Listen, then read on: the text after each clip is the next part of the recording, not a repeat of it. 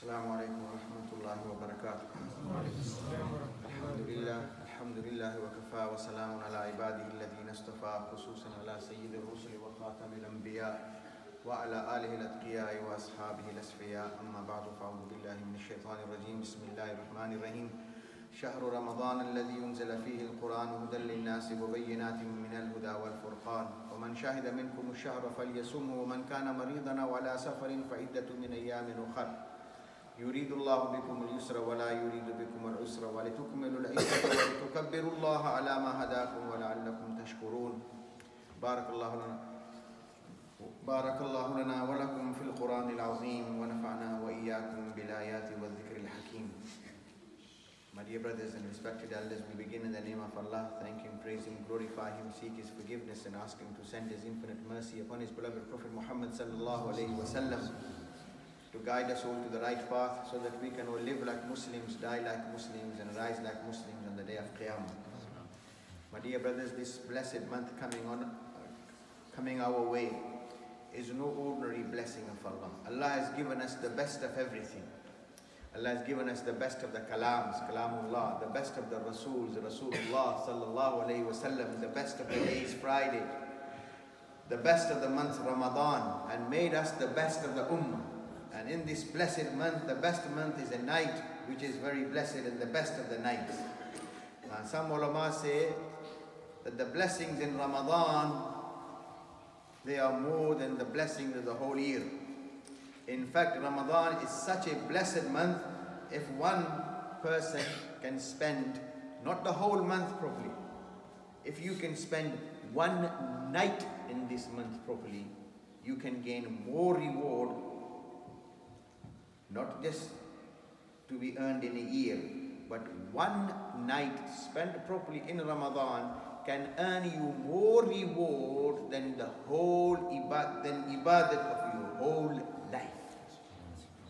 One night is more powerful in Ramadan than a thousand months. And a thousand months equates to 83 years and four months. Allah doesn't say it equals. Thousand months equate to 83 years and four months. But that one night isn't equal to 83 years and four months. It's better than 83 years and four months. Meaning one night in Ramadan alone can bring you more reward from Allah than what you could do in your entire life. So Ramadan is a life-changing time. Ramadan is such an important time.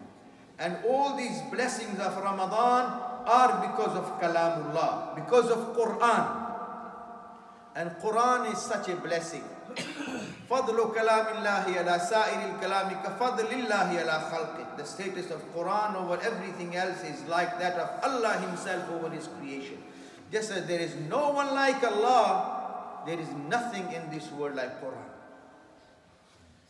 Some people, when they are faced with a difficult task, get some help from brothers, friends, whoever. Uh, there are presently more than 7 billion humans. No Maulana, no Mufti Sahib, no Shaykhul Hadith Sahib.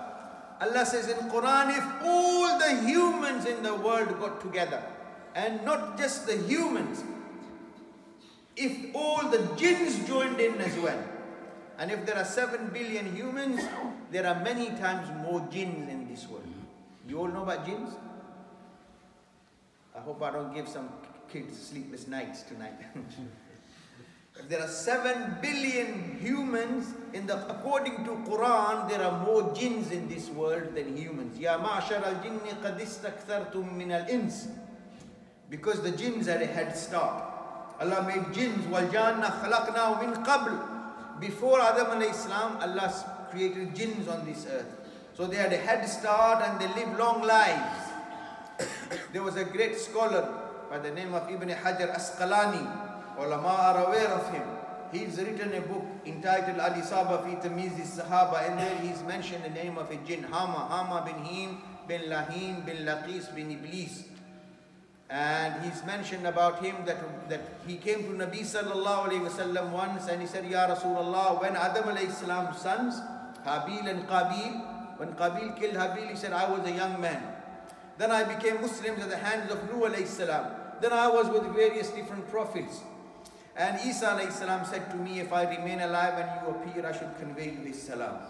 So this particular jinn lived from Adam alayhi salam to Nabi sallallahu alayhi wasallam's time. That's how long lives some of them have. Head start, long lives, so there are many times more jinns in this world than humans. So if all the humans and all the jinns got together to help one another. Allah says in the Quran, قُلْ لَئِنِ اجْتَمَعَتِ الْإِنسُ وَالْجِنُّ عَلَىٰ أَن يَأْتُوا بِمِثْلِ هَذَا الْقُرْآنِ لَا يَأْتُونَ بِمِثْلِهِ وَلَوْ كَانَ بَعْضُهُمْ لِبَعْضٍ ظَهِيرًا If they will help one another, assisted one another, cooperated one another to make something like Quran, they will not be able to do so. Why? Because it is the word of Allah. In Arabic there is saying, there's a saying, Kalamul muluki mulukul kalam, the words of the kings are the kings of the words. There's no bigger king than Allah. So there is nothing in this world more powerful than Kalamullah, which is Quran. So the month of Ramadan, some of you might think, month of hunger, starvation, meaning fasting, perhaps in somebody's eyes, according to someone's understanding, Yes, in the month of Ramadan we fast. Some people just remain remain hungry and thirsty. Nabi sallallahu alayhi wasallam has stated in hadith, "Man lam yada qawla zur wal amala bihi." The one who doesn't leave lying in the month of Ramadan, فَلَيْسَ لِلَّهِ حَاجَةٌ فِي أَن يَدَعَ طَعَامَهُ وَشَرَابَهُ Allah has no need for such a person who has left his eating and drinking. He's left eating and drinking. He thinks he's fasting. He's playing games with fasting. Such a man, fasting is not just about remaining hungry and thirsty.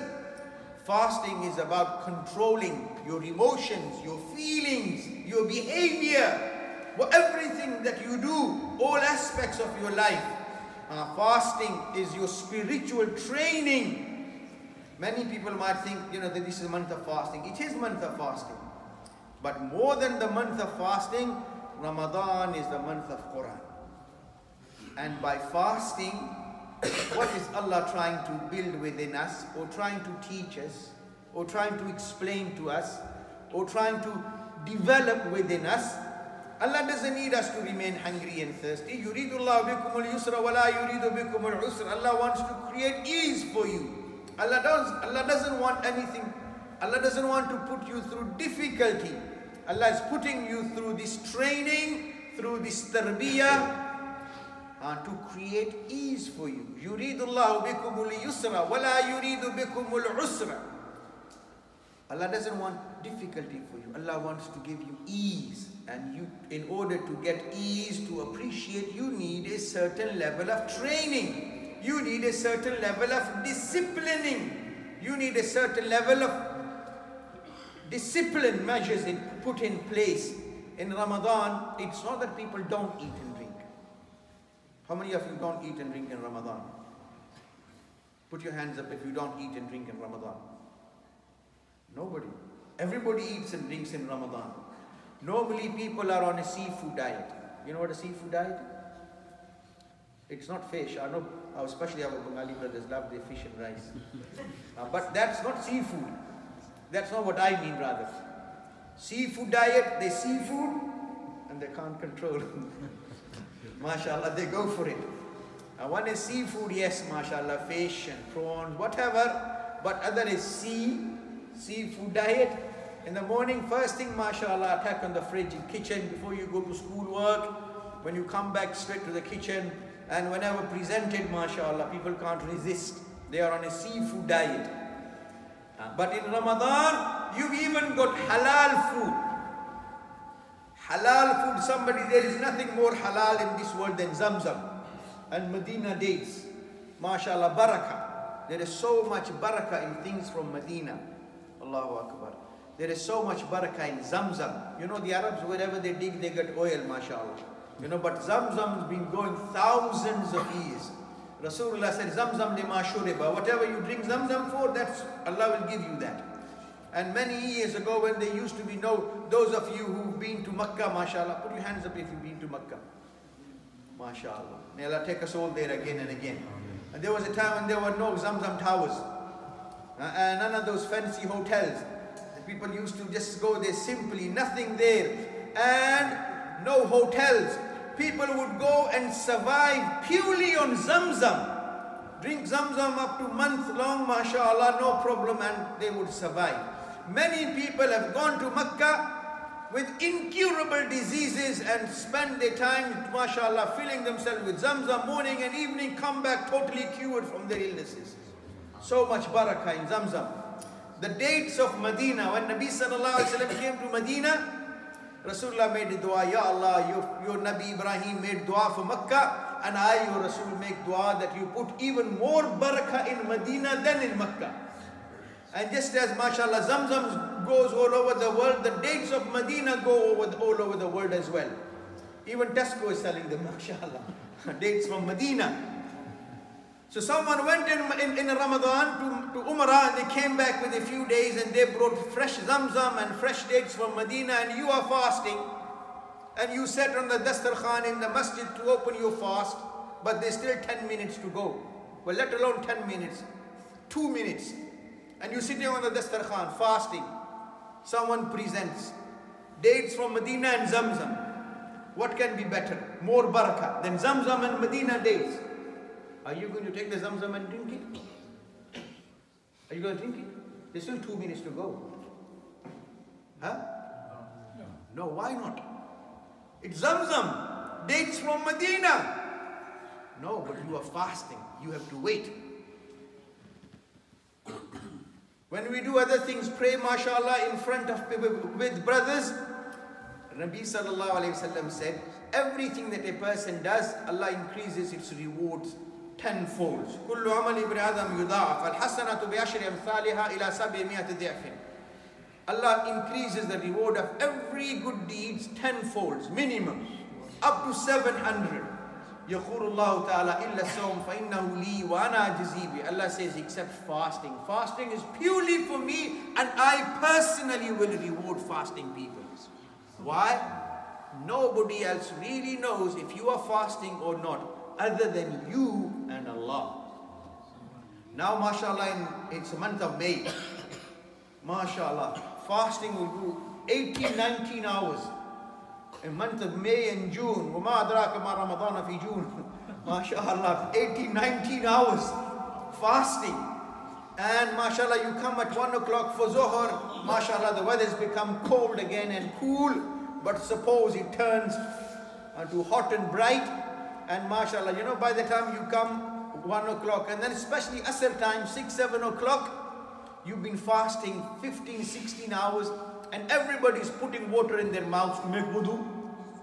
भैया वजू करते हैं मुंह में पानी डालते हैं नहीं डालते everybody's in the queue everybody putting water in your mouth you put water in your mouth but do you allow a single drop to trickle down your throat why not who would ever know? सब मुंह में पानी डाल रहे हैं अल्लाह को लेकिन एक मजाल है एक कतरा नीचे चला जाए who would ever know okay might be in the masjid somebody want to give you suspicious looks but you are at home having a shower the bathroom door is locked water pouring all over you mashallah water pouring all over you but do you allow a single drop to trickle down your throat? Who would ever know? So Allah says, fasting is purely between me and the person. Purely for me. Nobody in the world. You might get up with your family, have pratas for, for sahri, and you might come every day to the masjid, sit on the dastarkhan for iftar. But whether you are fasting or not, either you know or Allah knows. Ah, so Allah says, I personally will give the reward for a fasting person.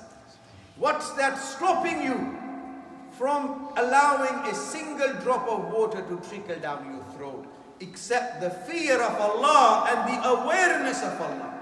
So a man who has that awareness that nobody will know except Allah, Allah will know.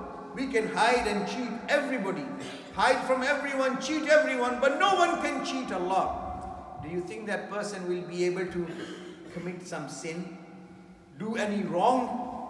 जिस आदमी को ये एहसास हो कि एक कतरा उसने नीचे नहीं जाने देना वो आदमी को गुनाह कर सकता है So fasting, the main thing in fasting is controlling yourself from committing sin. When a whole month, I wish I had a piece of paper, I will show you better. papers. In the month of Ramadan, you don't just not eat. You, mashallah, save yourselves. Is it this paper, brother? Okay. You save yourselves not just from the unlawful, you refrain even from the lawful for a whole month. So that when Ramadan is over, at least you can refrain from at least haram. जब एक पूरा महीना हलाल चीजों से भी बचते बचते रहे तो जब एक पूरा महीना गुजरेगा तो हलाल तो क्या तो कम इस कम हराम से तो बच सकेंगे ना let me give you an example you see when something is like this folded like this now if you want to straighten it if you put it like this if is it, is it going to come straight no no in order to straighten it you don't just put it like this you have to bend it the other way and once you bend it the other way and then when you put it flat then it becomes so now we are so used to doing wrong things that when we are told to be straight, people, most people can't. So they need that training whereby they need to control themselves even from what is normally permissible so that when after a whole month, when Ramadan is over, at least you can refrain from the unlawful.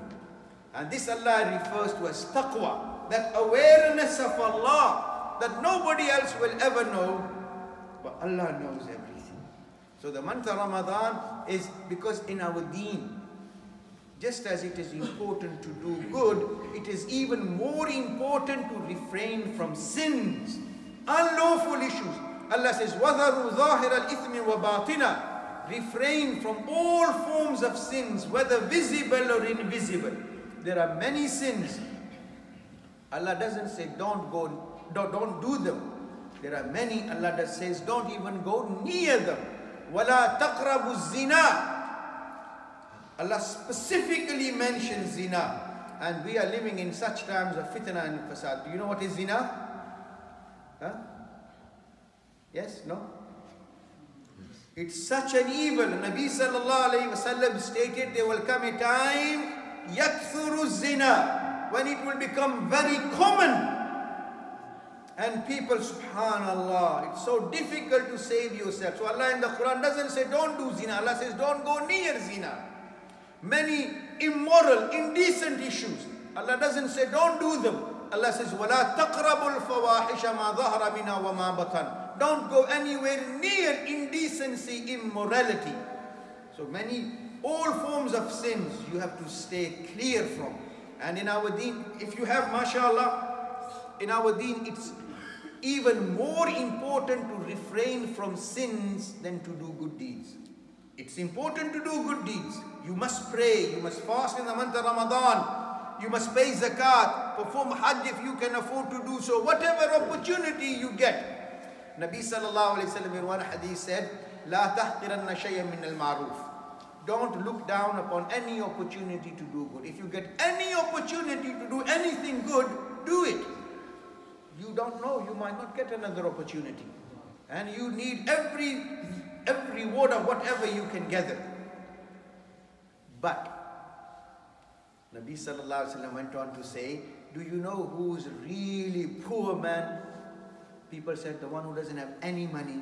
Rasulullah said, the muflis, the poor man of my ummah, is not someone who doesn't have any money, but someone who will bring many, many good deeds.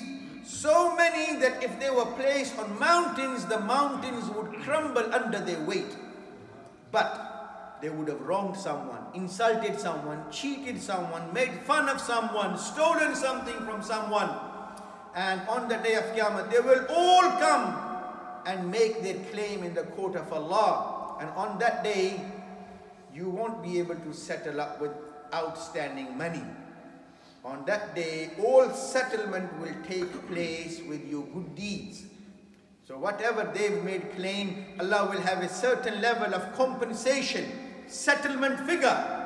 from your prayers, from your other good deeds, which will be given to the people that, that have been wronged. So much so that all of those good deeds, if they were placed on a mountain, the mountain would have crumbled under their weight, will be given to others.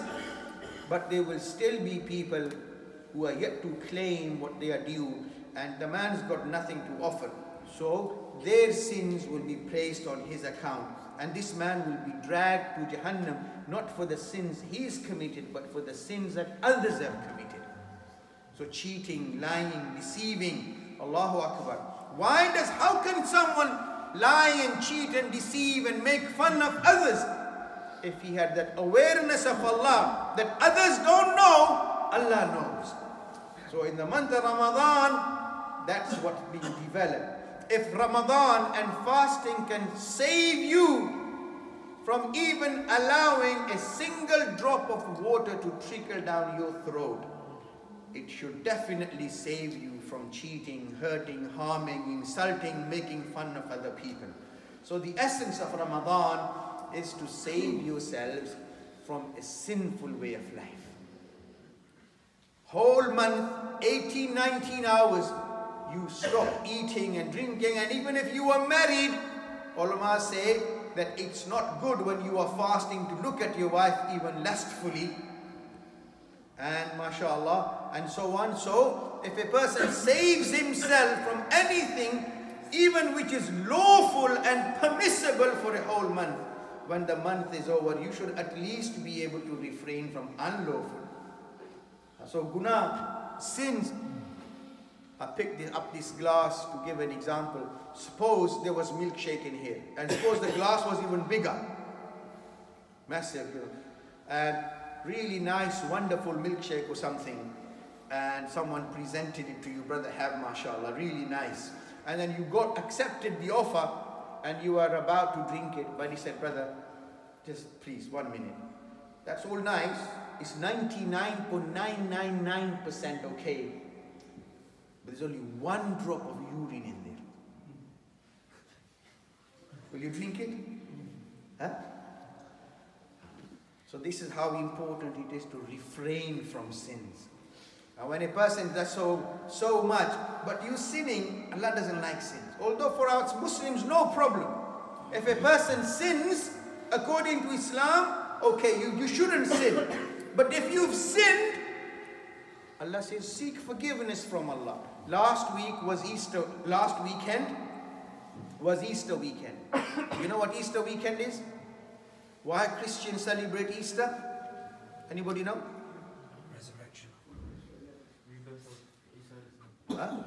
The rebirth of Isa Rebirth? I don't think anybody believes in rebirth of it. Uh, not rebirth, but resurrection. Christians believe that Jesus died on the cross for their sins and he died on the cross carrying their sins. Because for Christians, sin is such a problem, they think anybody who sins deserves to die. There is another religion called Hinduism. For them, sin is such a problem that there is anybody who commits a sin, oh, that's it, you've had it. If you commit a sin and you die, You've been committing sins. When you die, that's not the end of the story for you. If you're a Hindu, they believe you'll come back to this world like a donkey or a monkey or a pig or a cat or a rat or a mouse. And if you behave like a good monkey or a good donkey or a good rat and a good mat or a mouse, then you can come back again in this world in a better form and eventually you can achieve what they call nirvana, salvation. So for, if for Hindus, they believe there's nothing, no way out of sin. Except for you to become a good monkey or a good donkey or a good pig or a good rat or a good cat or whatever. Christians came up with another scenario. They said if you sin, there's no way you can come out of sin. You deserve to die. And the only way for you to come out of sin is for God to come down in human form in the form of Isa salam and to carry your sins upon himself and die on the cross for you. It's like if somebody was a criminal and the police caught him and they put him in the court and the judge was a very kind judge. And the judge looked at the person and said, You know what? You're really a bad guy. And you've done something terrible. You deserve to die. But what I'm going to do, okay, because I'm a good judge, I'm going to let you off, but in place of you, I'm going to send my son to prison. Does it make sense? Why should Allah, na'uzubillah, punish an innocent soul for the sins of people to come centuries and millenniums later? So for Christians, sin is also a very, very big problem. But for Muslims, sin is a problem, but not as much. Because if we sin, then as long as as soon as somebody has sinned, if they seek forgiveness from Allah, even a terrible sin, وَالَّذِينَ إِذَا فَعَلُوا فَاحِشَةً أَوْ ظَلَمُوا أَنفُسَهُمْ ذَكَرُوا اللَّهِ You remember Allah, you seek forgiveness for your sin, Allah will forgive you. So much so in Hadith al-Qudsi it says, يَا ابْنَ آدَمْ إِنَّكَ مَا دَعَوْتَنِي وَرَجَوْتَنِي غَفَرْتُ لَكَ عَلَى مَا كَانَ مِنْكَ وَلَا أُبَالِي You son of Adam, as long as you keep hoping in me and you keep calling upon me for forgiveness, I will carry on forgiving you and, and this doesn't bother me. If your sins were to pile up to the heavens, لو بلغت ذنوبك عنان السماء ثم استغفرتني غفرت لك على ما كان منك ولا أبالي if you were to, your sins were to pile up to the heavens and you were to seek forgiveness, Allah says, I will forgive you and it doesn't bother me. so for Muslims, if we do anything wrong, we repent, seek forgiveness from Allah. And then what we do? In the Quran, Allah says, Innal hasanati yudhibna sayyi'at. Good deeds wipe out bad deeds. Rasulullah said, if you sin, then follow it up with a good deed. Because the good deed will compensate for your sin. And mashallah, whenever you do your, you do your prayers, when Ramadan sets in, from one Ramadan to the next Ramadan is kafara. When you fast properly your whole month, Rasulullah said, Man sama Ramadan imanan wa ihtisaban, ghufira lahu ma taqaddama min dhanbi. Whosoever fasts in the month of Ramadan with iman and hope for reward, Allah forgives all their past sins. Man qama Ramadan imanan wa ihtisaban. Whosoever prays in Ramadan, meaning at night, implying Taraweeh, Allah will forgive all their past sins.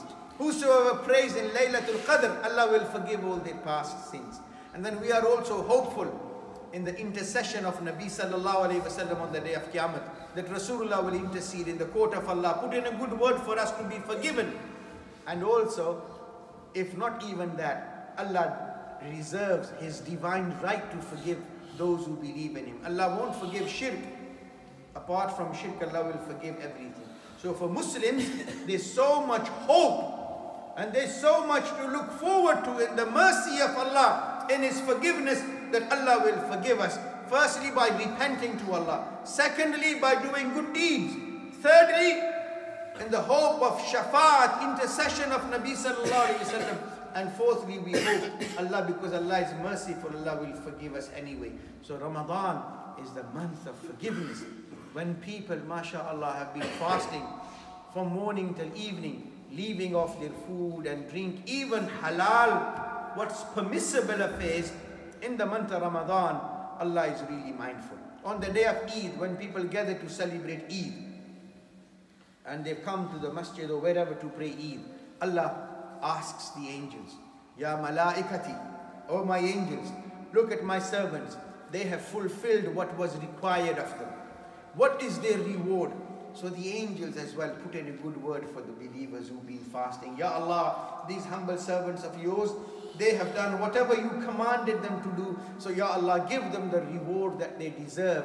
So Allah says to the angels, Oh my angels, you bear witness that I have forgiven them. Uh, so for Muslims, mashallah, we have so much to look forward to in terms of because when you give up your, your food and drink and your desires for the pleasure of Allah, Allah is mindful of that. Allah appreciates that. So for Muslims, mashallah, fasting in the month of Ramadan is really to strengthen their iman and trust in Allah that, you know, that, that Allah is watching and they will not cheat anyone. They will not wrong anyone and they will control themselves.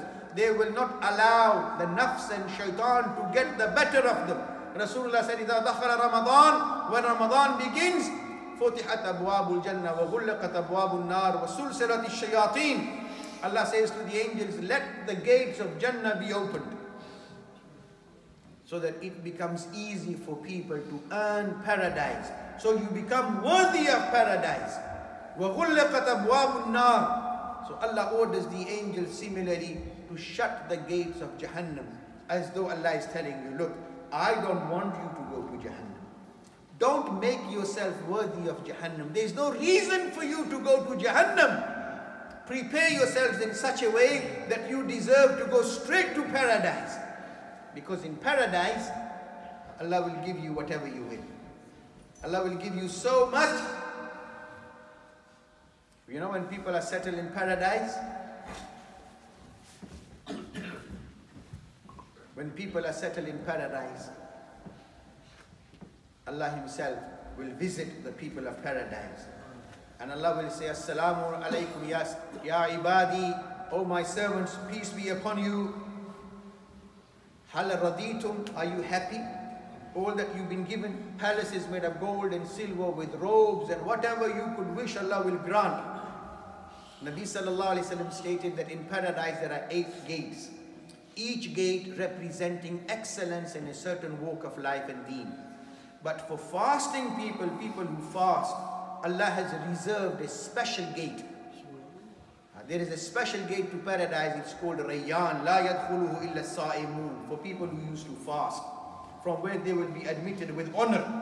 So when they are entered into there, and they are settled in their palaces with their wives and everything good that they could possibly desire, then Allah will say, Hal raditum, are you happy? Just as when someone comes to our house and we try and entertain him and present the best that we can, and then at the end we say, Brother, can I get you something else? You know, when some guests go to somebody's house, some people say, Brother, you don't want anything to eat, do you? Meaning, please don't eat something. Somebody went to somebody's house and said, Brother, what will you have? Something hot or cold? The man was a he was a clever man and he said, Before dinner we'll have something cold, after dinner we'll have something hot.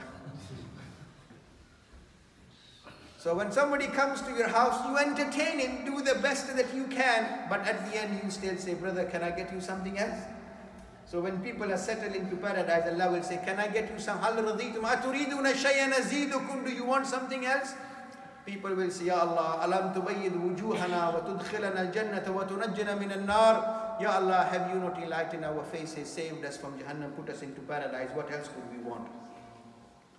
And Nabi sallallahu alaihi wasallam went on to say, فَيُكْشَفُ الْحِجَابِ Allah will raise the veils which exist between us and Allah and there will be nothing even in paradise than to behold Allah Himself, to see Allah. In dunya, we can believe in Allah, worship Allah, pray to Allah, obey Allah, call upon Allah, do zikr of Allah, but we can't see Allah. We can't see Allah in this world. In Jannah, there will be no need to pray, no need to do anything. Uh, You will see and meet Allah Himself. That will be the ultimate. And fasting, Allah says in one hadith, you know, the hadith, Allah says, I will reward, according to some ulama, He says, wa ana ujzabi.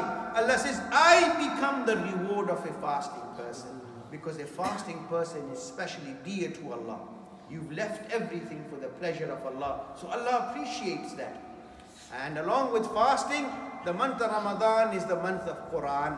Allah has mentioned it as a special favor. Ar-Rahmanu allama al-Quran The most merciful is the one who taught you Quran. Rasulullah said, for every nation there is a matter of pride. And the pride of my ummah is Quran. Uh, Quran is such a blessing of Allah. Among the best people, خَيْرُكُمْ مَنْ تَعَلَّمَ الْقُرْآنَ وَعَلَّمَ The best amongst you are those who learn and teach Quran. And so when you've been reading Quran, fasting, and then at the end of all that, uh, you deserve your reward. And one of the rewards of Allah for a fasting person, and in Ramadan especially, is that Allah accepts your du'as. In the passage in Quran, in which Allah has made mention of Ramadan, Allah then goes on to say, وَإِذَا سَأَلَكَ عِبَادِي أَنِّي فَإِنِّي قَرِيبٌ When my servants ask you about me, I am near. So when I'm near, what happens? Allah says, Ujibu da'an.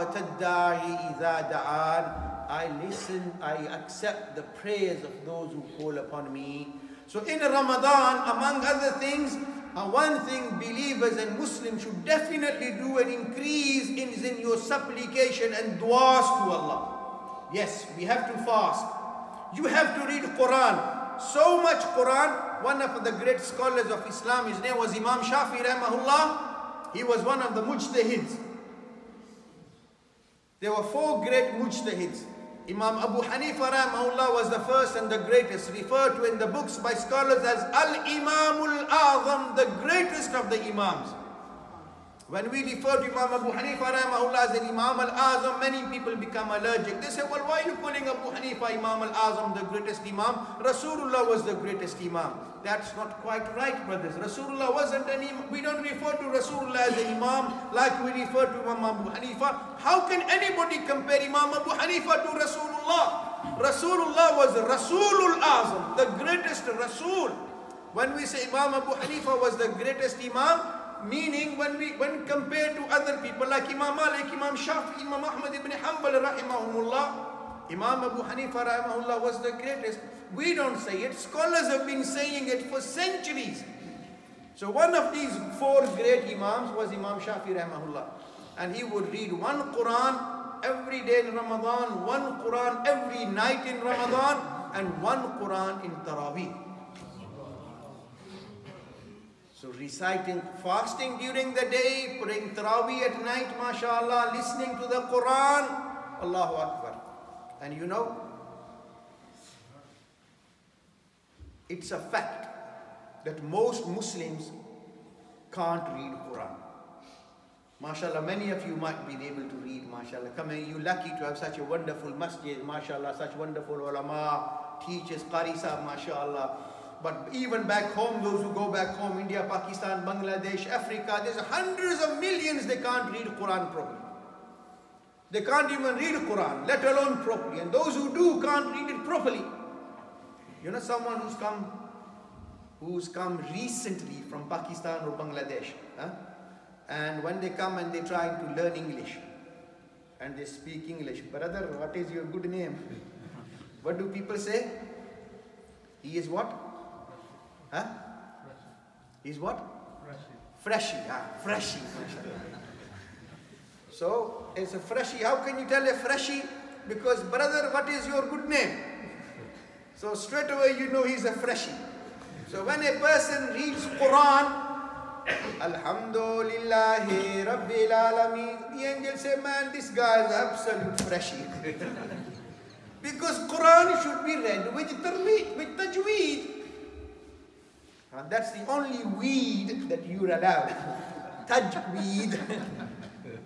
you understand? Some people like other weeds. Uh, but no, the only weed that a Muslim is allowed is tajweed. So Quran deserves to be read with tajweed, with proper makharij, qalqala. But most Muslims can't do that. So what happens? Allah has given you an opportunity. You can't read Quran properly, but you can at, at least listen to Quran properly.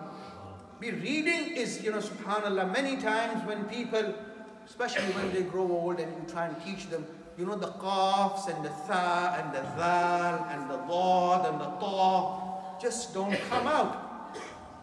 But you can at least listen. but चलो सारे पढ़ नहीं सकते तो सुन तो सकते हैं ना सारे you can at least listen. So every Ramadan, the month of Quran, and you haven't learned to recite it properly with tajweed, so you can at least listen in most masajid, mashallah, brothers, they make special provisions and arrangements for someone who's a hafiz, mashallah, qari, reads nicely, mashallah, especially if you've got someone like Qari Sahib, I'm sure, mashallah, people, you know, they will be feel honored and enjoy listening to such a recitation, mashallah. So یہ اگر ساری زندگی پڑھا نہیں اللہ نے ایک موقع ایسا دے دیا کہ کم از کم سارا قرآن سن تو سکتے ہیں۔ You can at least listen to the whole Quran being recited and this takes place in the month of Ramadan in a special prayer called which is prayed with how many رکعتس 20 you pray 20 rakats here? Mashallah and you don't just pray here. It began more than 1400 years ago. There's a very famous, you know, the month of Ramadan, month of Quran, month of fasting, and month of dua. Allah accepts your du'as in this month. Dua is also a very important amal in the life of a Muslim. So much so that in Quran there are many du'as.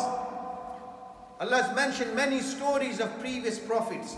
Adam salam story, is dua. Nuh salam story, is dua. Ibrahim salam story, is dua. Musa salam story, is dua. Ayub salam story, is dua. Yunus salam story and his dua. Rasulullah would begin his day with a dua and end his day with a dua. Quran begins with a dua and ends with a dua. So in Ramadan, you fast, you pray Taraweeh, and you make as many du'as as you can. Uh, but the first thing when Ramadan is declared, suppose inshallah on Sunday, the 6th of May, likely, most likely, it will be announced. Rasulullah said, wa. Begin your month with seeing the moon and end your month with do you get an opportunity to see the moon? MashaAllah, in England you can't even see the sun all the time, let alone the moon. and so, but anyway, when it is declared that Ramadan has become has begun, suppose on Sunday, when will you fast? What day will you fast? Monday. But what will you do on a Sunday? Taraweeh. Why? Rasulullah sallallahu alayhi wasallam never prayed Taraweeh even once on the first of Ramadan. Unanimously agreed issue. Nobody can prove Rasulullah ever prayed Taraweeh on the first of Ramadan or the whole month. You know who started Taraweeh? In the time of Umar radiallahu anhu. And who is Umar? Month of Ramadan is telling you recognize the status of Umar, especially radiallahu anhu.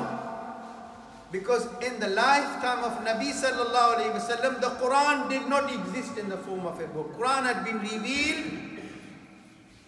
Allah had taken person. You know when Quran used to be revealed upon Nabi sallallahu alayhi wasallam, Rasulullah would repeat.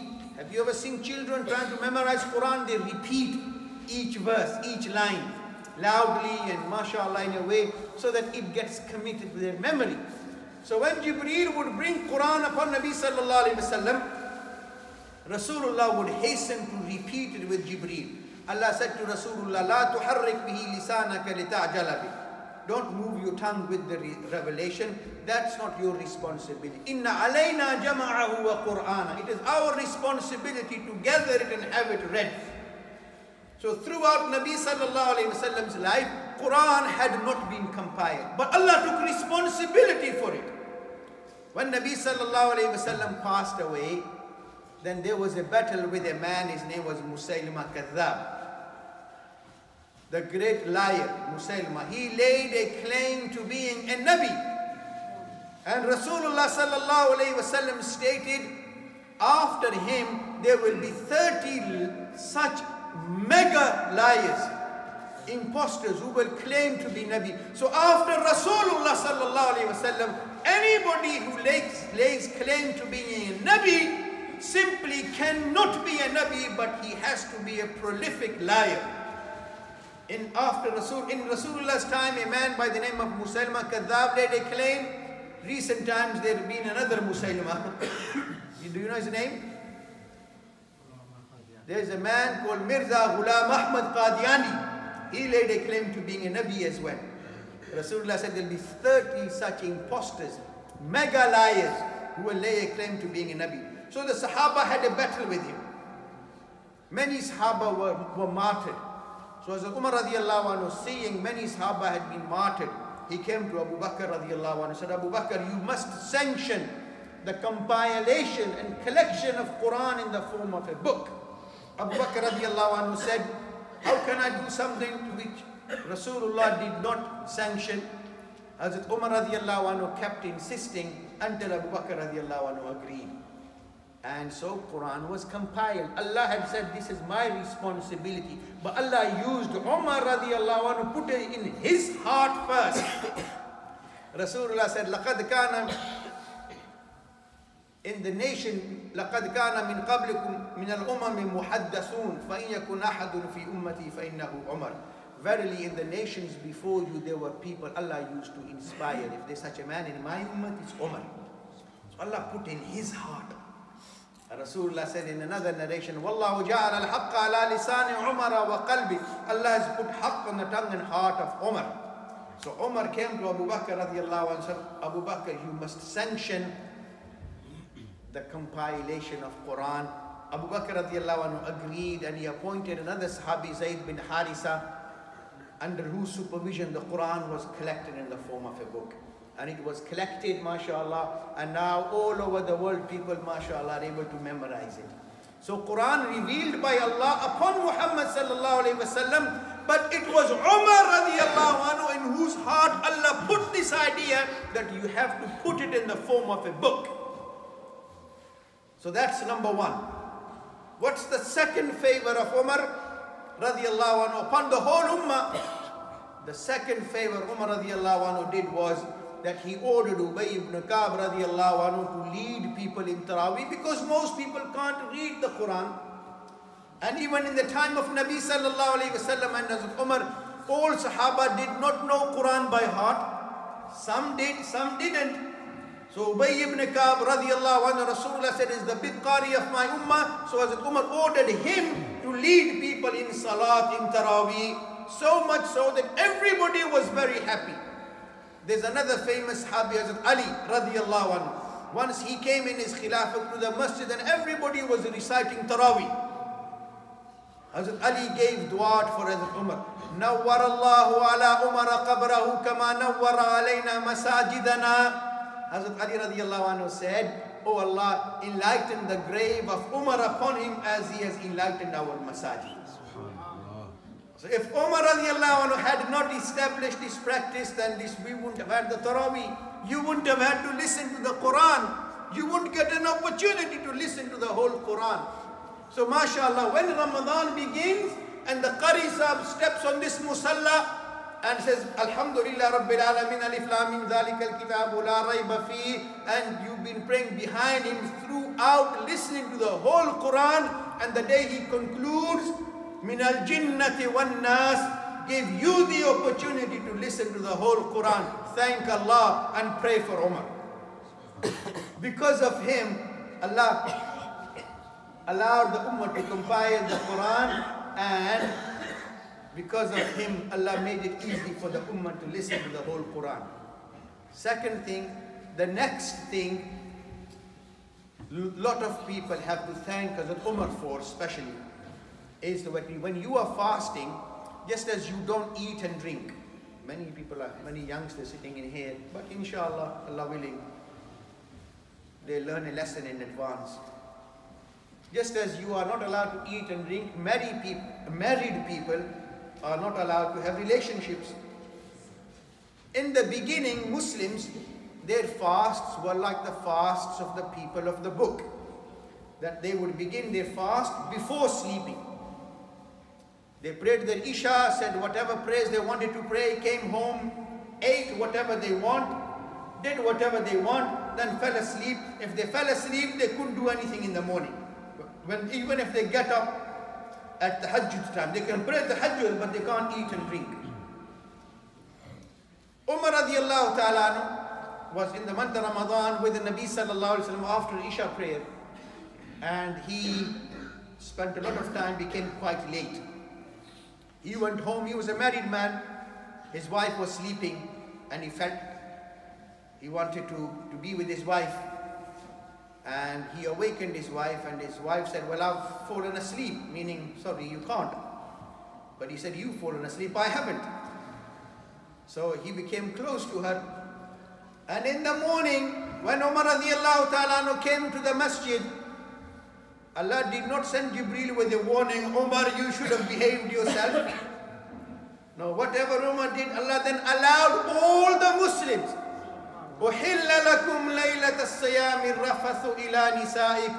Allah has made it lawful for you, permissible for you, if you want to approach your wives, eat and drink in the morning as well, no problem. Because of Umar, your fasting was reduced. Otherwise, now it would have been almost 24 hours fasting. Uh, because, because of what Umar and some other Sahaba, there was one other Sahabi, he used to work very hard in his farm, in his business. He came home in Ramadan very tired. His wife hadn't prepared the, the food in time, so he lay down and he fell asleep. And now, because he fell asleep, now he couldn't eat anything once he was awakened. And so then Allah revealed these verses. وَكُلُوا وَاشْرَبُوا حَتَّى يَتَبَيَّنَ لَكُمُ الْخَيْطُ الْأَبْيَضُ مِنَ الْخَيْطِ الْأَسْوَدِ مِنَ الْفَجْرِ And so when people say, well, Rasulullah used to pray eight, who knows Rasulullah better than Umar? And so the month of Ramadan, month of Quran, month of fasting, month of dua, month of forgiveness, month of paradise. But along with that, suppose anybody sitting here fasted not just in Ramadan, every day of your life you fasted, except those days that you're not allowed to fast, like on the day of Eid. Suppose you fasted every day, other day of your life. Suppose you spent not just Ramadan nights in Taraweeh, every night of your prayer, in, in every night of your life in prayer. Suppose you gave every penny that you ever earned in charity. Can you still put your hand on your heart and say, I'm definitely going to paradise? हाँ? कोई ऐसा है जो दावा कर सके मैं तो पक्का जन्नती हूँ हाँ? No, you can't. Allah doesn't like pride, arrogant people. We can, we should do our best, but be humble and pray to Allah, Ya Allah, accept whatever we have done. We can't boast about anything, but there were certain great individuals Rasulullah mentioned by name and gave guarantee of paradise. Abu Bakr fil Jannah, Umar fil Jannah, Uthman fil Jannah, Ali fil Jannah, and six others by name in Jannah. So these are blessed people. Umar radiallahu anhu was promised paradise by Nabi sallallahu alayhi wasallam. So some people say, well, Rasulullah did this, Umar did this. Allahu Akbar. What are you trying to say? Umar didn't know Rasulullah? If anybody knew Rasulullah sallallahu alayhi wasallam well, there was only one man who knew Rasulullah better than Umar, and that was Abu Bakr radiallahu anhu. Otherwise, Umar, Allahu Akbar. Rasulullah said, Allahumma izza al-Islam bi Amr bin Hisham or Umar ibn Khattab. Honor Islam with either Abu Jahl or Umar. Allah chose Umar. And so Umar radiallahu ta'ala, because of him, Allah blessed the Ummah with the Quran that we have now. Because of Umar radiallahu anhu, Allah blessed the Ummah with Taraweeh. And Allahu Akbar. Just as Maulana was saying, that in the month of Ramadan, mashallah, every nafil thing you do, Allah equals it to a farz. Every farz thing you do, Allah multiplies it by seven. Most people can't recite Quran properly. But in Ramadan, you have an opportunity, Qari Sahib, reciting the whole Quran. And if a person walks out halfway, what's he saying? بھی اگر پورا قرآن سنایا جا رہا ہے جس کی وجہ سے سارے رمضان کی بہار ہے تو آدمی جو ہے कुछ रकाते पढ़ने के बाद चला जाए तो वो क्या कह रहा है मुझे सवाब की ज़रूरत नहीं Is that the attitude for a Muslim to have?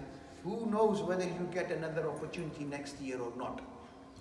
So much reward in the month of Ramadan, in the masjid, with the jamaat, Quran being recited, in salah, and somebody doesn't want to listen to the whole Quran. Is he really doing justice to Quran? No. So this is an opportunity not to walk out, but to remain steadfast and listen and mashallah enjoy Quran recitation. Who knows? I'm sure you know many people who are with, the, with in the community last year and they are not with us this year. Who knows who will be around till the end of Ramadan or next year.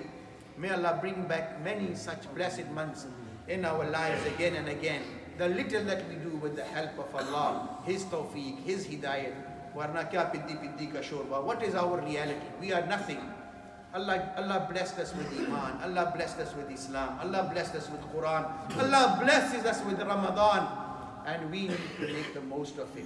If nothing else, we और कुछ नहीं ये रोजे तो सब रख ही लेते हैं ना when everybody's fasting is easy to fast by all means, recite as much Quran as you can. Make all the du'as that you can. Give all the sadaqah that you can. By all means, do whatever good that you can. But the least that every Muslim should do is listen to the whole Quran being recited in which prayer? Tarawih. Yes, amongst the Sahaba, there were many differences in many things. Sahaba mein bahut se masail mein ikhtilaf tha. But there are two issues in which there was absolutely no اختلاف whatsoever. دو مسئلے ایسے ہیں اور مسائل میں تقریباً سب میں اختلاف تھا دو مسئلے ایسے ہیں جب وہ طے ہوئے ایک آدمی نے بھی اختلاف نہیں کیا not a single صحابی made any difference one is 20 رکعہ تراوی and the other is three طلاقs in one sitting meeting When it was legislated, not a single person spoke up.